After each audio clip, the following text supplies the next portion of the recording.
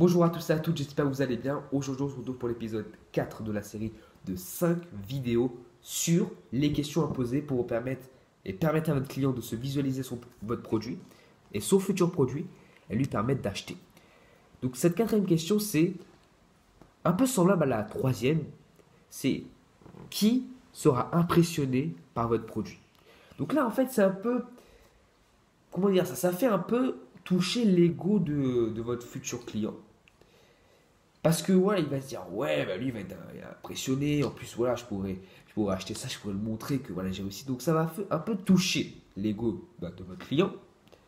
Donc certains clients vous diront bah, pourquoi vous posez cette question. Euh, je n'ai pas envie de vous dire. Bon bref, vous savez les objections, les plaintes. En tout cas, on parle pas de ça maintenant, on va parler de ça plus tard. Mais vous devez savoir que, eh bien, si vous posez cette question, ça vous permettra un peu de toucher son ego, mais également savoir s'il n'y a pas une autre personne qui pourrait l'influencer. Parce que si une personne est impressionnée, eh ben, peut-être peut que ça peut être sa femme, peut-être ça peut être, euh, si, je sais pas moi, son frère, etc. Donc, vous devez poser cette question.